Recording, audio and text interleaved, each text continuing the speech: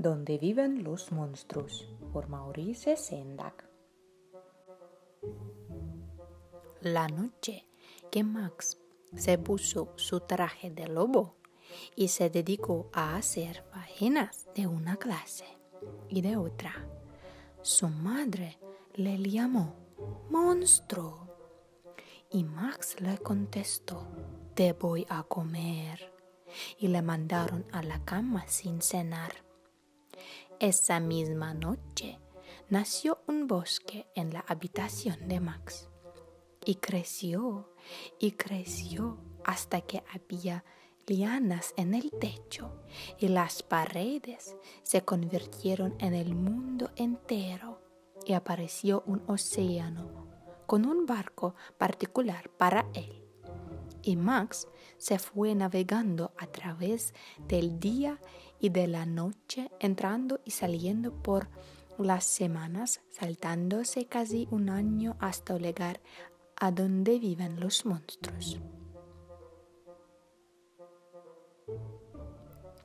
Y cuando llegó al lugar donde viven los monstruos, ellos rugieron sus rugidos terribles y crujieron sus dientes terribles y movieron sus ojos terribles y mostraron sus garras terribles, hasta que Max les dijo, quietos. Y los avanzó con el truco mágico de mirar fijamente a los ojos amarillos de todos ellos sin pestañear una sola vez. Se asustaron y dijeron que era el más monstruo de todos y le hicieron rey de todos los monstruos. Y ahora, dijo Max, que empiece la juerga monstruo. Se acabó, dijo Max, y envió a los monstruos a la cama sin cenar.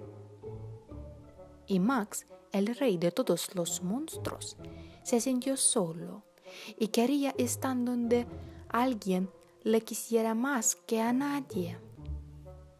Entonces, desde el otro lado del mundo, lo envolvió un olor de comida rica. Y ya no quiso ser rey del lugar donde viven los monstruos.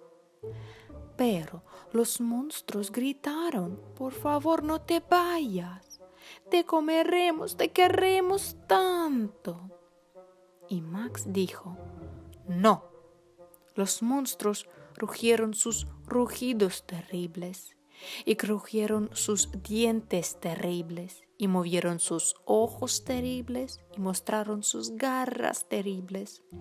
Pero Max subió a su barco particular y les dijo adiós con la mano y navegó de vuelta saltándose un año, entrando y saliendo por las semanas, atravesando el día, hasta llegar a la noche misma de su propia habitación, donde su cena le estaba esperando y todavía estaba caliente.